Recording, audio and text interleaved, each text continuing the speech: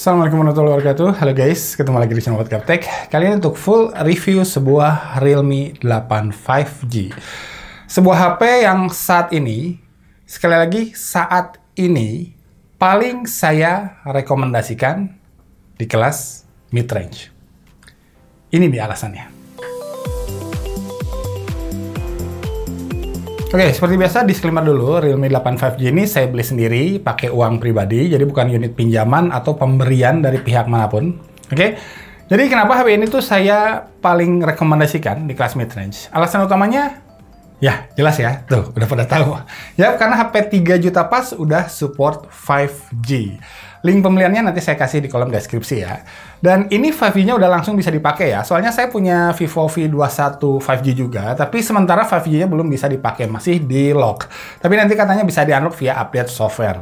Nah, kenapa udah support 5G itu penting? Karena ya jangan tahun depan deh, 6 bulan lagi aja perkiraan saya ini ya. 80 sampai 90% HP baru di kelas mid range udah bakalan support 5G. Catat 80 sampai 90 persen 6 bulan lagi. Perkiraan saya ya. Ya Samsung aja udah ngeluarin ya HP 5G 3 jutaannya yaitu Galaxy A22 5G. Nah kalau Samsung aja udah gercep, apalagi yang lain harusnya. Jadi kalau kamu sekarang beli HP mid-range 4G, ya 6 bulan lagi nasibnya gimana coba? Ya memang 6 bulan lagi tuh jaringan 5G-nya sendiri sih masih ya semenel lah ya, masih hujan rintik-rintik lah. Tapi tren device yang udah support 5G-nya tuh saya jamin udah deras banget, campur geledek pokoknya. Pabrikan yang telat ngeluarin line up 5G murah dijamin bakal ketinggalan. Nah itu kita baru ngomongin 6 bulan lagi ya.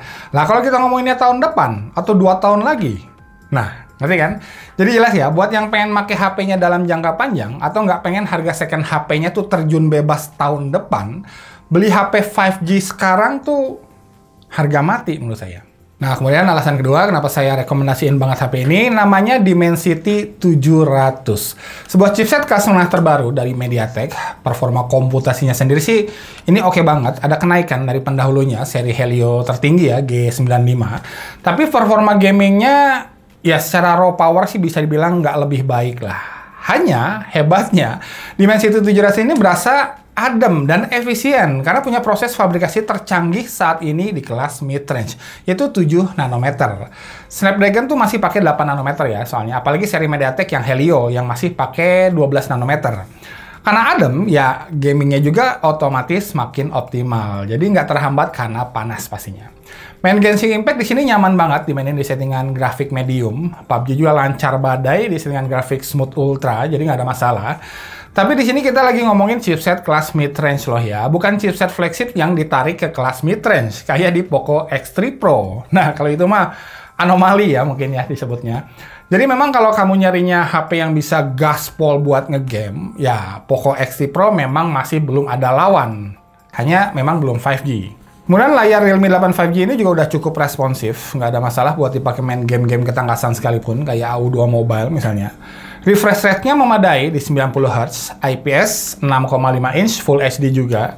RAM dan storage-nya juga bilang besar buat HP 3 juta pas ya, 8 GB RAM dengan 128 GB storage. Ini keren. Baterainya juga gede di 5000 mAh, ini aman banget. Dan nggak lupa punya NFC juga buat top up kartu elektronik kalian. Oke, mantap. Lanjut kita ngomongin kameranya nih, gimana? Ah, uh, ya jujur awalnya saya agak pesimis lah. 48 megapiksel Samsung ISOCELL GM1. Ini sensor yang dipakai sama HP Legend ya, Redmi Note 8 kalau nggak salah. Udah berapa tahun tuh umurnya? Hampir 2 tahun kali ya. Tapi, ya ternyata ini adalah ISOCELL GM1 terbaik yang pernah saya coba. Nggak tahu karena ISP-nya Dimensity 700 yang sakti atau emang Realme-nya aja yang jago ngeracik. Ya apa pun itu saya suka. Gambarnya tuh tajam terus terang, warnanya juga dirasa pas, nggak berlebihan tapi nggak kurang juga. Dan ya hasil olehnya ini lebih baik dari Realme 8 4G yang kameranya 64 megapiksel. Ingat, ini cuma 48 megapiksel aja loh.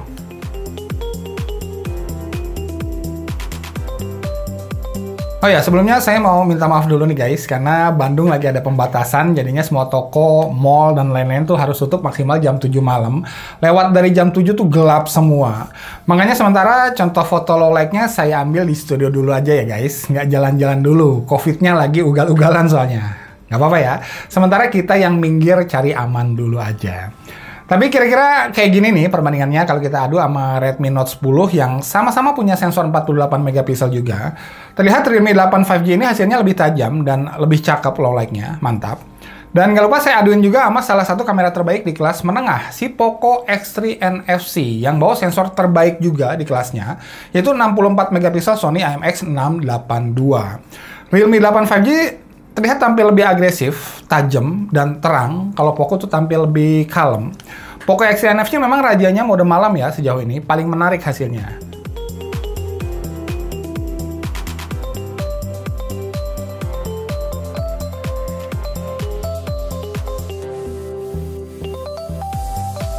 Terakhir, ini sih sneak peek aja ya, lawan HP yang bakalan saya review selanjutnya, yaitu Xiaomi Mi 11 Lite. 64 megapiksel juga. Monggo diintip sedikit aja. Sementara no comment dulu. Ya, intinya kalau kata saya ini ya, jangan skip Realme 8 5G ini karena alasan cuman punya sensor jadul 48 megapiksel Samsung ISOCELL GM1.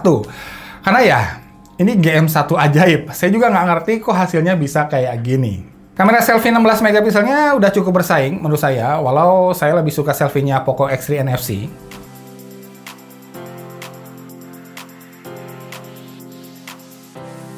Nah, kemudian perekaman videonya gimana, Bang? Uh, itu nanti, karena itu masuk ke segmen kelemahan. Saya kumpulin di akhir. Oke? Okay? Lanjut ke desainnya sendiri, secara overall cukup baik menurut saya. Ini Realme balik ke desain cari aman, beda banget sama Realme 8 4G kemarin. Tapi nggak apa-apa, ini hal positif menurut saya. Fingerprintnya di samping, kamera depannya udah pakai model punch hole. Ketebalannya juga nggak setipis Realme 8 4G sih, tapi juga nggak setebal Poco X3 NFC. Jadi ini di tengah-tengah lah. Hanya aja sayangnya kemarin saya kebetulan dapat unit yang agak cacat kali ya, quality controlnya. Saya beli di Tokopedia waktu itu, sempat saya posting di Instagram juga. Mungkin ini lemnya kurang kuat atau gimana, saya nggak ngerti.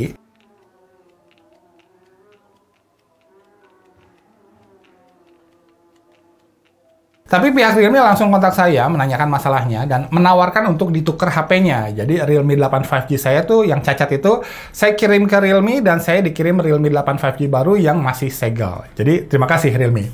Dan di Realme 8 5G yang baru ini perfect, nggak ada masalah di quality controlnya sama sekali.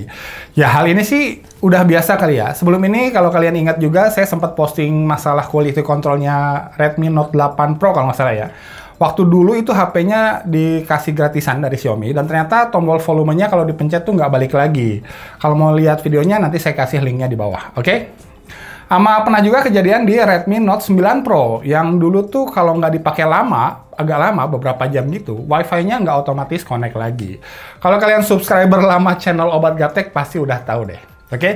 tapi don't worry, itulah fungsinya service center ya. Saya udah dapat konfirmasi juga dari pihak Realme-nya. Jadi kalau kalian nemu masalah back cover yang kurang nempel kayak saya tadi, masalah ini masih di cover sama garansinya. Aman. Lanjut yang saya suka juga, HP ini udah punya triple SIM slot dan punya sensor-sensor yang lengkap. Mantap. Hanya memang ada beberapa catatan yang bukan karena kualitas di Realme 8 5G ini jelek ya, hanya memang beberapa pesaingnya bisa kasih yang lebih baik di kelas harganya. Kayak di sini layarnya belum Super AMOLED, kualitas layar Realme 8 5G ini nggak jelek kok. Hanya beberapa HP Xiaomi 4G di kelas yang sama udah bisa kasih layar Super AMOLED. Hal yang sama persis bisa saya mention juga buat fast chargingnya yang masih 18 watt. Jadi ngisi full HP ini tuh masih PR, butuh waktu yang cukup lama. Hampir 3 jam di catatan saya. Kemudian no LED notifikasi, bezel bawah layarnya juga masih bukan yang paling tipis di sini. Dan nggak lupa di sini speakernya masih mono.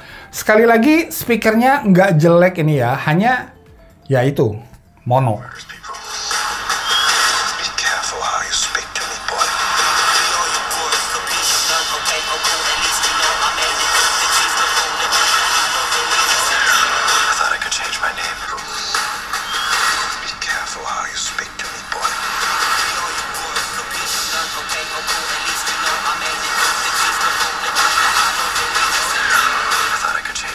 So, jadi kelemahan benerannya apa dong, Bang?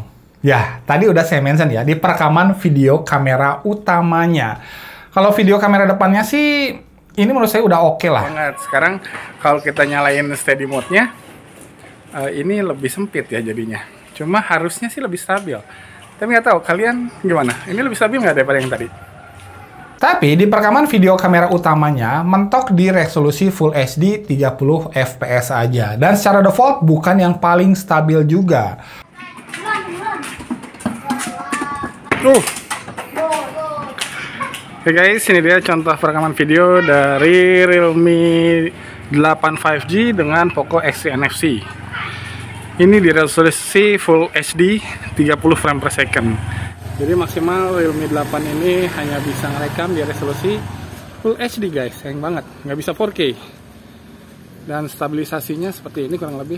Jadi buat yang hobi video-videoan, Realme 8 5G ini belum bisa ngasih performa yang terbaik di kelasnya. So, kesimpulannya, surprisingly, HP 5G dijual murah, ternyata nggak harus ngorbanin banyak ya. Yang paling ngeganjal buat saya di Realme 8 5G ini paling cuma di perekaman videonya aja. Ama ya mungkin karena udah biasa pakai fast charging yang cepat ya. Jadi 18 watt tuh ya apa ya suka nggak sabaran gitu lah. Kalau kelemahan-kelemahan yang lainnya sih kayak belum super AMOLED misalnya speakernya mono dan lain-lainnya nggak terlalu saya ambil pusing. Udah bagus juga kok di sini. Bahkan kualitas foto kamera dan performa hardwarenya di luar dugaan bisa sangat-sangat memuaskan saya jadi ya itu, kalau Realme 8 5G ini bisa nggak ngorbanin banyak buat 5G, 6 bulan ke depan saya yakin pasar bakal kebanjiran HP-HP 5G terjangkau yang secara kualitas nggak jauh beda sama HP-HP mid-range 4G yang ada di pasaran saat ini. Saran saya sih kalau kalian sabar nunggu, silahkan. Sangat saya saranin tunggu aja. Tapi kalau harus beli HP-nya sekarang juga, hari ini juga, nah Realme 8 5G ini adalah rekomendasi saya nomor satu di kelas mid-range. Oke? Okay? Thanks for watching. Mudah-mudahan videonya bermanfaat. Nika Ustadz. Assalamualaikum warahmatullahi wabarakatuh.